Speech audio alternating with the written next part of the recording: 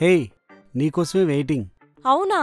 ఏంటి ఏదైనా అవుటింగ్ ప్లానా అవును ఎలా కనిపెట్టావు? మాడు తెంగరోడే అనుకున్నాను. పర్లేదు రొమాంటిక్ గాడే. సరే సరే ఒక్క ఫైవ్ మినిట్స్ నేను ఫాస్ట్గా రెడీ అయ్యి వచ్చేస్తా. ఫైవ్ మినిట్స్ ఎందుకు? Take your own time.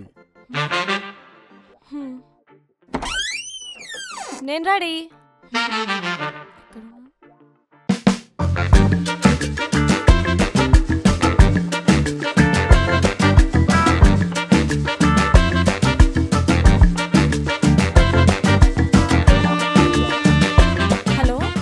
నేను రెడీ అయిపోయాను.